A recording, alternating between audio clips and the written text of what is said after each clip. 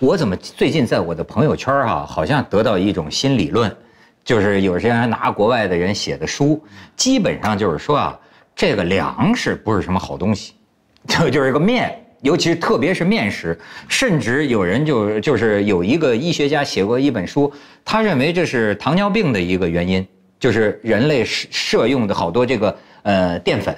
哎，认为这是糖尿病的原因，甚至是现在发展到认为很多的这个中风，呃，这个脑脑中风，还有老年痴呆，呃，那老年痴呆跟这个都有关系。所以现在就是我周围很多哥们儿都改了，不吃主食，就是就是吃肉啊，吃菜吃肉好吗？吃肉多了好吗？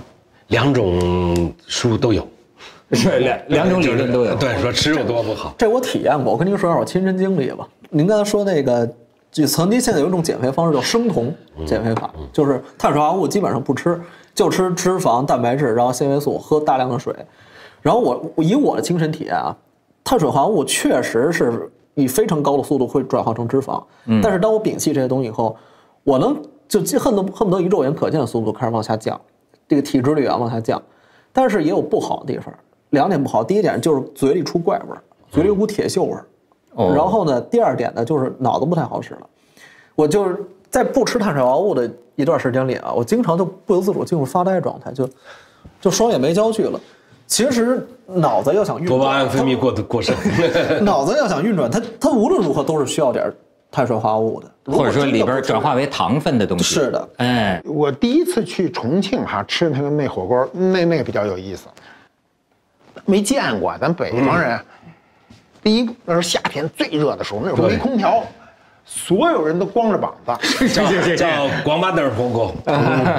然后光一膀子还不说吧，谁也不认识谁。对，这一桌子仪器呢，上面有格儿，嗯，九宫格嘛，哎，九宫格也是，其实不是九宫，是明明八个格。然后呢，我我跟另外一人往那儿一坐，太热了那天儿，那叫浑身就湿透了，我就不好意思，我觉得我好在还算一文人哈、不能脱衣服嗯吃。这一涮呢，咱不会涮，格儿就上面这一层是个格儿，底下是贯通通的，了，对，所以得我这算重。一涮呢没了，上。跑那屋去啊，了。旁边那哥们儿是那里头去了，那哥们儿拿起来就给吃了。哎，我这不太好意思说你吃那是我的呀，人家不管是哪格里的是谁的，真正讲究涮呢是不能离开这格。对，啊，那是我第一次，第一次吃吧，把我呛的呀，因为没有思想准备，太辣了，当时呛的眼泪鼻涕一块流，那是我吃的。就是第一次吃这个麻辣火锅，全是红的，没有什么鸳鸯锅什么的，而且都是后来的上面厚厚的一层牛牛油牛油牛重庆是牛油火锅，啊，必须的是牛油成都的就不是牛油吧？啊，重成都叫清汤火锅嘛，嗯清油锅，清油这叫牛油锅，他那个永远不换，嗯，明天点热了还是他，这一辈子也不换过滤一下。老汤，老汤。哎，老汤是有道理的，这个，这个其实这个香地沟油有道理吗？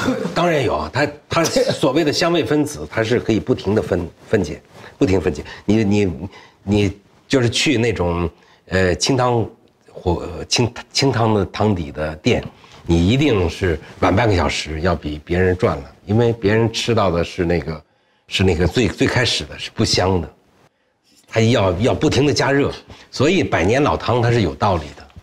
好家，喝别人的洗脚水是是是更好吃的是吗？呃，但是对对，他这说让我想，但是你看，你跟广东人不一样。你看我在香港，广东人很他好像喜欢就是哎，你们这纪录片里讲的对新鲜食材，那真是这清水啊，这个新新鲜食材跟那个嗯是没有关系的，他要的是食材的原味儿嘛。对啊，呃呃，四川人、重庆人，他要的是那个火锅底料的味道，嗯，就是所有的。其实我你你想一想，毛肚、黄喉、鸭血、猪脑这些东西，你真正的烹制了出来，它没有那么好。本身都是呃杂碎，对对吧？没有那么么好吃的，嗯，而且呢，有可能会有刺鼻的味异味儿。对的，异味儿很准确，有道理。它只有在这个里边过一下，还有一种是潮州牛肉锅，在我们那儿也很火呀。对。啊，它那个特点又是什么呢？那个就是，呃，其实就是它是用，呃，牛身上极少的一部分六分之一的肉，才能切成这个涮火锅的这种肉，其他的肉是要要要煮的时间或者久啊，或者是带筋呐、或者是什么是不能不能做的。它只有像什么我们说什么吃饼啊，这个什么齿仁啊，嗯、三花趾、五花趾，这在牛身上都是一细一细条肉，然后就把它切出来，然后给大家吃。这是潮汕人他特别特别精细的一个。嗯嗯嗯嗯。但是小青，你还是说说你吃过的最好吃的火锅。呃，我我其实我更习惯的是我们安徽的火锅，或者是中原的火锅，就是我小时候吃过的火锅。它实际上是把食材都做好了，放在里面，也叫一品锅，对，也叫一品锅，也叫合家合家欢。涮羊肉不亲民啊？涮羊肉还是有点贵哦，涮羊肉的呃造价肯定会比普通的重庆火锅。重庆火锅当年叫一拖三，哎，对，这是什么意思？素菜一块，所有的荤菜三块，一盘儿，叫一拖三。哦，现在还有四拖二的。四拖二的就是，呃，素菜两块，荤菜四块。哦就是它是，你羊肉做不到这点。它它是那个还有这个重庆火锅过去都是吃那下脚料，对，这是最重要的。吃他们那都是你不吃的。您看刚才的那个火锅的这个图片，嗯，那是达官贵人家的锅，真正的火锅也就一百多年，那是重庆苦力最早在江边儿吃的这种杂碎，但是中国人的智慧恰恰就在这儿，他能把没人吃的东西把它变成有人吃的东西，比如说黄喉，黄喉你知道是什么？那当然了。是是什么东西？不是喉管吗？不是，那啥呀？这是牛和猪的主动脉血管。哎呦，这还真没。但是呢，，你如果直接吃是不能吃的，它上面有好多层，要一层一层的撕下去，最中间的那个部分才是脆的，才可以吃。嗯，要前面的手手工是特别特别多的。再比如说毛肚，嗯，牛有四个肚，对，能吃的只是第三个肚，第三个胃，第三个胃就我们叫百叶。对呀、哎，现在也有拿第二个呃第二个胃来做的，就是我们广东叫金钱肚，金钱肚。也也有涮的，但是呢，也有拿羊的第四第三个胃来充数的，就是散丹。嗯。您知道这个北京吃爆肚，哎爆肚这个散丹、肚仁儿、这个肚领儿、大梁，它都是这都是每个口感味道都不一样。比如说赌人儿，就是马连良先生，他就是一辈子就好赌人儿就好这口，哎你不说说别的都不行。那这些东西都需要反复的处理，要不然不好吃功夫。功夫这好像说中就就是中国人特别爱吃火锅，你觉得为什么？火锅最简单的一个一个道理是它比较容易。开火锅店为什么多？重庆多？它因为成本低啊。对，大厨没有啊。没有大厨不会闹矛盾，明白吗？有大厨怎么就会闹矛盾？大厨是餐厅最重要的技术力量。他要是跟餐厅经理、跟你的投资人闹了矛盾，你拿他没招儿。哦，火锅店成本是低的，所以火锅吃就火锅等于是中中国人的自助餐。电视电视台的主持人，大厨一走了，就是没戏主持人一走了，那就要缓半天儿。哦，所以呢，火锅呢不需要大厨，它的技术含量没有那么高。更重要的是呢，涮火锅的人把自主权掌握在自己手里。嗯，哎，烫嫩一点儿啊，烫老一点儿啊，这个就会非常非常随意。但大家觉得好像吃火锅好像那个有点凑合啊，怎么就吃火锅什么的？其实火锅特健康。我觉得我敢打赌啊，就是现在正在看这节目的很多观众，肯定被这个蛀牙，有人被蛀牙和龋齿困扰，牙疼。比如说我一天刷三次牙刚做了牙啊，一天刷三次牙，很注意口腔卫生，还疼。嗯为什么呢？其实是这样，就是碳水化合物吃太多。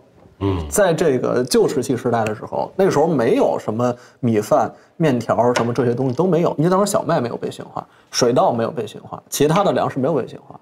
我们这物种啊，就咱们这物种，食谱中碳水化合物的比例其实并不高，对脂肪、蛋白质、纤维素这比例高。嗯，但是一万多年前那时候农业开始，农业一开始这可不一样了啊！这食物中碳水化合物的比例就猛然就上升。对，然后呢，这碳水化合物其实严格来说并不是一个好东西，因为这个吃到嘴里之后，它会水解成单糖，单糖跟微生物一接触之后产生有机酸，咱其实牙齿最外层这个牙釉质强度是非常高的，仅次于金刚石。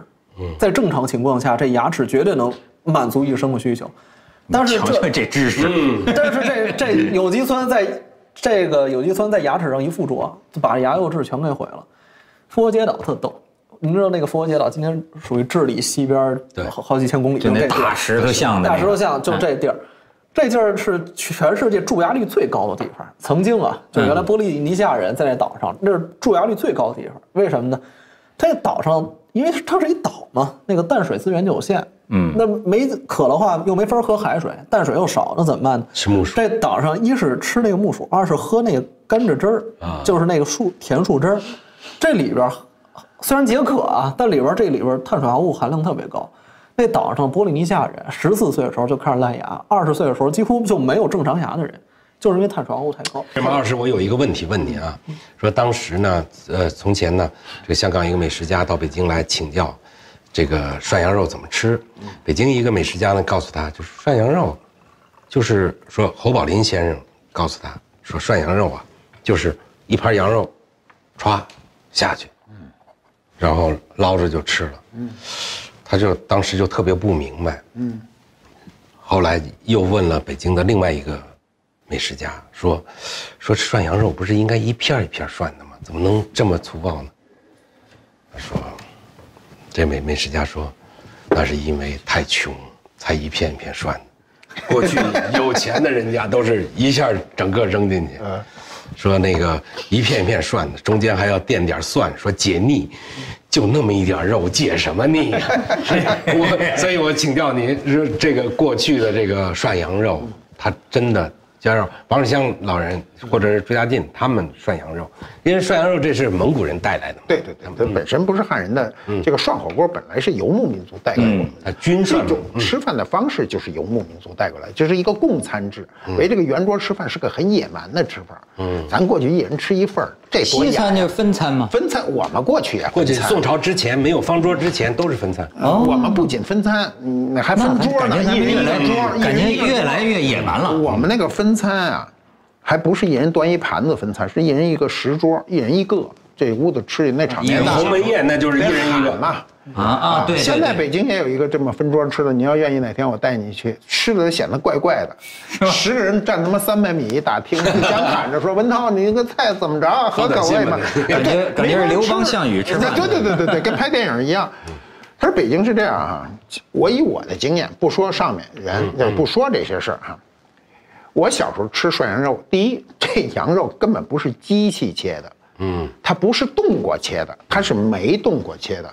当时最牛的是就就最先切东南顺，嗯，他那个在寒风中腊月天儿啊三九天儿在院子里切让你看，因为大部分人吃不起啊，嗯，哎呦我看着这哪儿就他说那特重要。哪儿有人一顿饭就吃肉不吃别的？这你得有多有钱呀、是不是？是这涮羊肉在大风天儿里切，那羊肉不是冻着的，是半软状态的。我记得清清楚楚，大刀叉，他刀法好，那一刀下去薄厚匀，因为。咱家里也从来没买过那么大块的肉，轮不上你切。咱们过去两毛钱的肉那么大一条，你能切的都歪七扭八的，没错对吧？他歘歘在那儿切，切完了一码盘儿上去，你当然有钱的人呼啦全葫芦进去了。就我说过瘾，就是这一筷子加十片 是不是？对你穷人你敢那么吃吗？羊肉太容易熟了嗯是不是？羊肉入水就熟，生着都能吃抖一下啊，我们过现在涮羊肉是真真是岁数大了，还有日子过得太好，吃不下。刚开始能吃涮，八十年代啊，那时候有点钱，两斤是，我们去啊，那时候王朔什么都在啊，一进门，门口涮羊肉一进去啊，一桌。一人二斤，十个人二十斤先上来，那服务员都愣着说：“你吃得了吗？”说：“你甭管吃不着，你拿来，全吃了的。真的，哎，嗯，那二斤肉是实打实的给你二斤肉，对对对对，全吃肚子里。羊肉这东西，你要年轻啊，吃多少都能化了。猪肉不成，猪肉吃二斤就基本翻白眼了。还真 还真是，就为什么火锅吃的就比一般的菜吃的多？多对你，你要把那羊肉都炒了，你可就吃不了。没错，没错儿，刚才那个马老师说的那个合餐分餐这事儿，我想起挺有挺有意思的。马老哎师说错，您您纠正我。没没没没没，咱聊天没错儿。国家博物馆里头就有一个类似于火锅的东西，但是那是明显分餐时用的火锅器具，叫青铜燃气。它分上中下三个部分，这底下是一铜炉，可以放这个燃料加热，上边是一个类似于耳杯的一样的一个一青铜结构。但汉人的时候有类似于吃火锅的这么一概念，他不是说今天把肉涮熟了蘸着酱吃，那时候就直接把那个酱料放在上面的燃气里头，然后底下把那个酱料给加热熟了，直接把那个生肉在染料里头酱料里头涮熟。那时候那酱料叫染料，那个染字儿怎么写？染就是污染的染。染料的染。对，那时候管那酱料叫染料，把生肉在这个染料里涮熟这种行为称为染。哎但那时候大家都分餐嘛，就是不在一桌上。就我特讨厌，他说那个小金老师那边肉涮好了，但他没注意，他跟马老师说话呢，我就趁机用两个手指头把他那耳杯里那染料涮熟那肉夹出来吃了。结果小金老师说：“说你这人怎么那么恶心呢？”对就这种行为特招人讨厌。但是我把手伸进去夹人肉这种行为被称为染指，染指的染就从这儿。哦这么来的啊哦，染指是这么来的。要不说染指是一贬义词嘛，就是它是对别人的那一种侵犯，一种骚扰。哦，后来过渡到这个对女性也叫染指。那个我我在重庆，重庆原来有一个特别牛的火锅店，叫洞子口，这就不是就在一个防空洞里面开的一个火锅店，是一个画家开的，拿一个破蒲扇。那个这个人神奇到什么程度呢？比如说，有人说说老板这个味道不够浓，他就拿拿这个蒲扇过来了，到你的火锅面前，直接手指头就伸到你的火锅里边。确实，加料，加料，哎，这这这这也是一种燃脂，我操，那个那个那个那那个煮着开的锅，呃，这所以这这里边透透着不是外人呐。这不不，他这个老干这种事儿的人呢，他第一他的耐烫，嗯，我那我亲眼见的，过去的人那时候过去都是煤球炉子嘛，煤球炉子红的烧的，嗯那人就聊着聊着天儿拿根烟，拿一个煤球，哇，嘣扔过去，压手，嚯！当时给我感，这全是老炮儿，这谁敢玩这个？他就没事儿。呃，他这个过去啊，跟我因为我跟一些老先生去吃饭啊，你们看那时候我年轻嘛，喜欢看他们吃。一到涮羊肉，那时候涮羊肉也算大菜。八十年代那刚改革开放嘛，请人吃涮羊肉，那老先生都是一请必到，因为没人请。吃的时候你就能看出来谁贵族，王世襄，那那当然，凡是讲究吃的人，对佐料特别在意。嗯，不讲究的就是夸夸夸夸夸，你看那就是他妈一外行，就吃一大概。像王世江他们吃这个哈，调完佐料，没有一次会第一次成功。我觉得它是一个摆给你看，是个程序，都调完了，拿根筷子一扎，叭一嘬。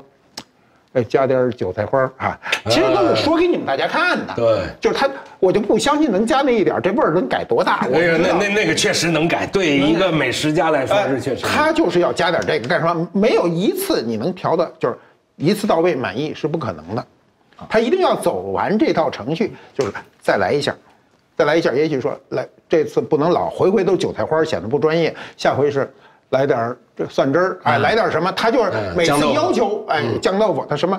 他这个这个每次要求不一样，但是他绝对不要一次调到位。嗯，每个人都调自己的呀，自己调的。后来那种就就特土，就是本店的特色就是调好了的，咣咣咣咣咣咣，是吧？对，这就不行。好的火锅店一定是自调，对我自己调的那个，我没几筷子就吃就吃完了，就用完了都。对但是像东来顺儿，之前他每年有两个月以上的那个歇业期，他在歇业之前的十天到半个月，他会猛加料，啊，哎，那啥意思？就是你吃别别的家的都没味儿。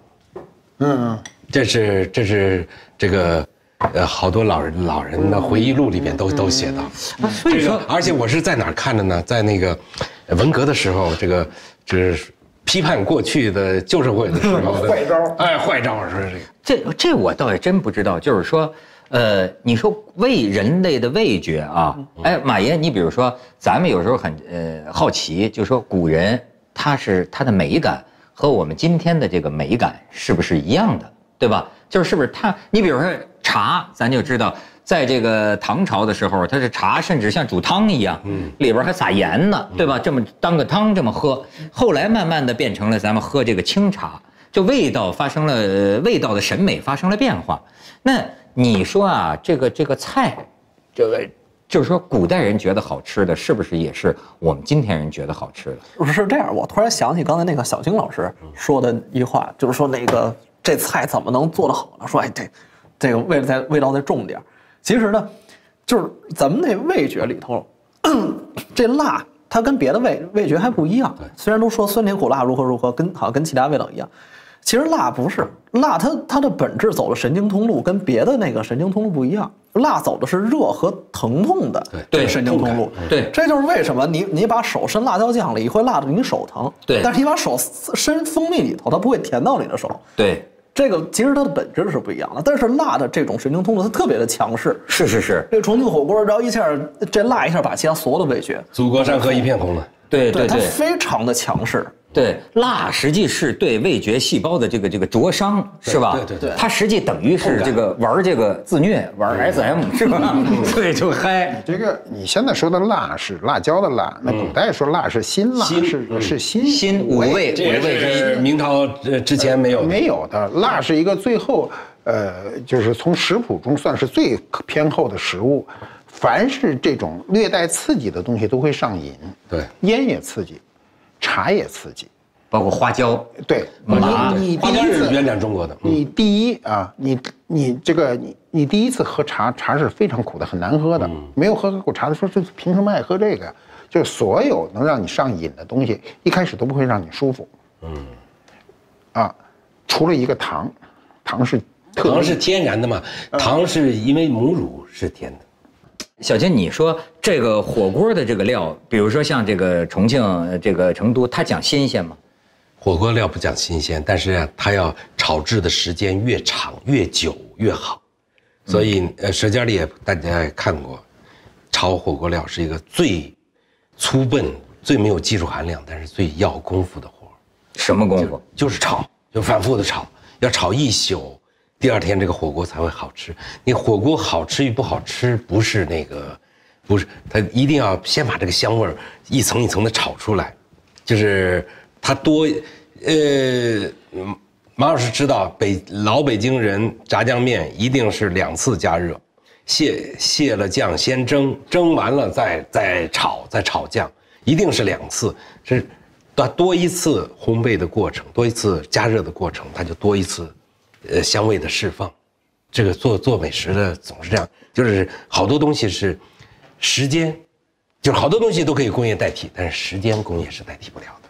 哎，那你说这个为什么我有一种感觉？当然我变味儿不太敏感啊，但为什么我觉得我到得到重庆和成都，哪怕甚至是它同样品牌的这个店呢，我怎么就觉得还是在四川的好吃，跟在北京的就是不一样。重庆、四川的好吃。对啊，对啊，北京的它一模一样，在北京开的。不不，它改良，到哪儿都要改良。餐馆餐馆不敢迁良，嗯，对，它要迁就，因为太辣呀。辣度都要降，它更要更标准化一些。就是重庆那个真的是很粗放的，重庆叫江湖菜嘛，就是对对对就是特别特别粗放的。它所以说你们俩这总结就是说便宜，对吧？说中国人爱吃。便宜不是，还有一个是佐料啊。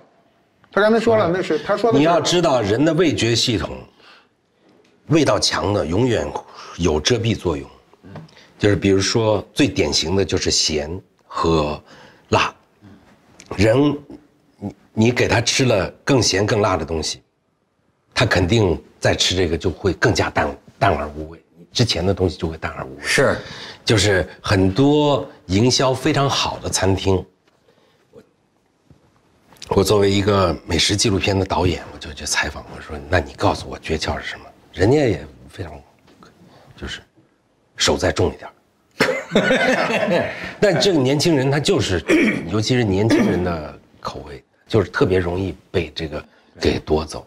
其实真正的美食的东西就不会被忽略了。吃盐是吃盐很容易上瘾，哎，我现在就是口味越来越这重。不好，要控制。哎他这刚才说这佐料，我跟你他说的这个是是是这个四川火锅的佐料，其实北京火锅当时全是靠这佐料。对，你知道这佐料中最重要是麻酱吧？嗯，你知道麻酱你今天随便买也不值啥啥钱。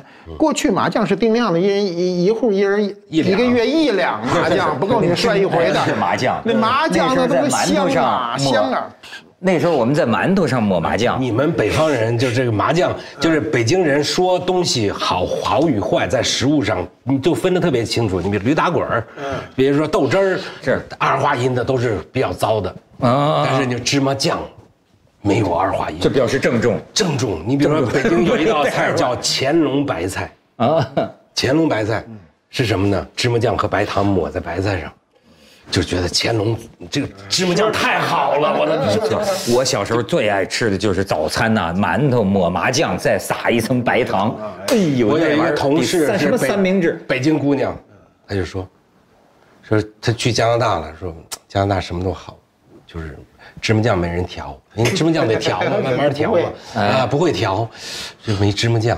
呃，对于一个北京姑娘来说，就是芝麻酱可以占宇宙的，就是 就是都都能吃的我。告诉你，有一本书很有意思，是个老外写的，叫《上瘾五百年》。我原来专门讲过这个问题，就是凡是能让你上瘾的东西，都创造过世界级的暴利。对比如一百年前，你说这人牛逼干嘛的？糖王，对，嗯玩糖的，对，还还有还呃，玩盐的盐商。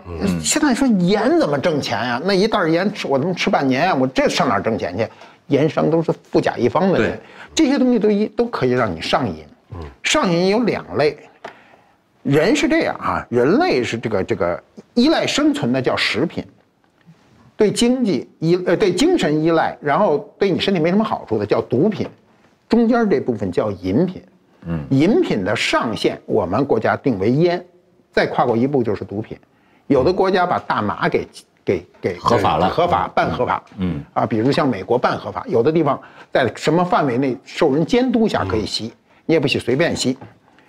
那么下限是什么呢？食品和毒和饮品的下限呢，就是盐，嗯，和糖，这里头中间的东西，你比如刚才说的辣椒，嗯，辣椒也上瘾啊。你知道常吃辣的人，如果突然你断掉辣，他吃三天以后他浑身难受，他老他非得吃那辣去，出现了戒断症状。对对，所以这些东西都可能获取你巨大的利益。所以有一本书叫《上瘾五百年》，嗯，很有意思然后另外一本书叫是也是呃那是西敏斯写的，叫《甜的权利》。嗯，你就看就是就是甜和社会阶层，甜和这个经济利益，甜和殖民地。